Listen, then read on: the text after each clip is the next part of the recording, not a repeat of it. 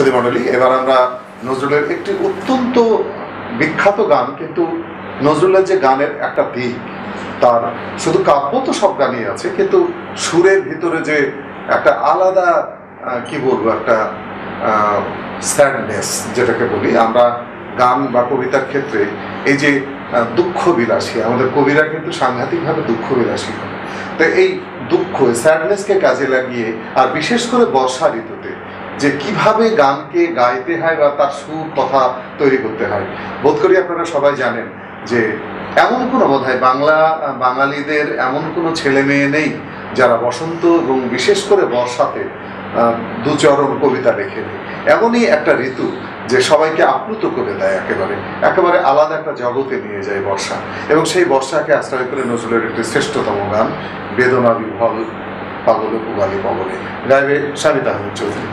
শুনি স্বামী অত্যন্ত গানটাকে ভালোবেসে গান করে এবং তার পারিবারিক ব্যবসার সাথে একদম সব কিছু সমন্বয় করেই কিন্তু গানটাকে করে।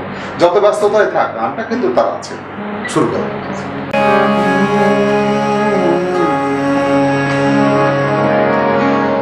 বেদনা পাগল পবনে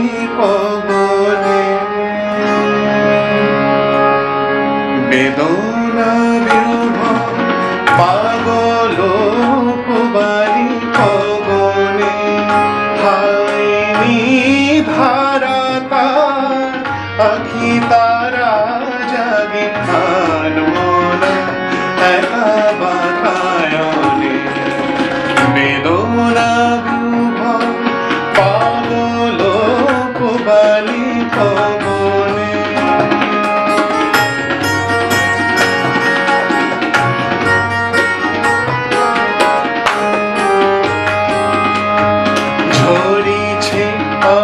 অঝোর নভে বাদল, হিয়া দুরু দুরু বনয়ুতার ঝরিছে অঝোর নভে বাদল, হিয়া দুরু দুরু বনয়ুতার কাজলের বাগ নাহি মানে হায় অশ্রুর নদী দুনয়নে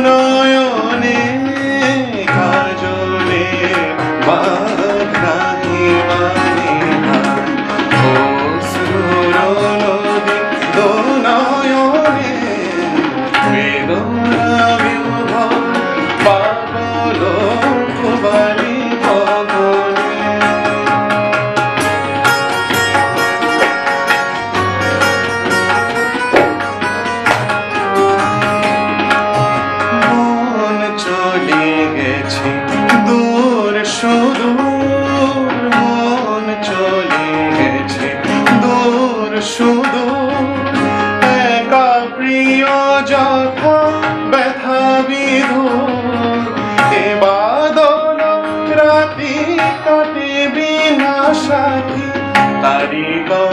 শুধু পড়ে মনে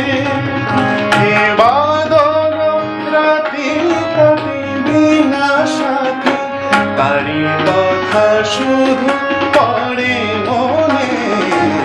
বেদনা পাগল কুমারী ভবনে হাইনি ধারা কার তারা জাগে হার।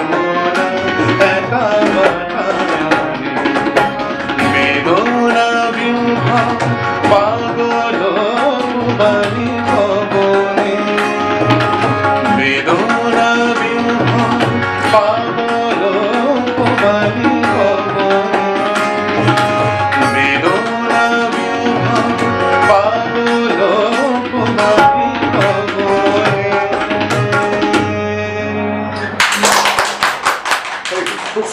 ভারী চমৎকার করে গিয়েছে এবং যারা শুনছেন বোধ করে সবাই জানেন যে এই গানে যে চরিত্র আমি আগে বলেছি, যে বর্ষণ বর্ষণ মন্দ্রিত রাতে।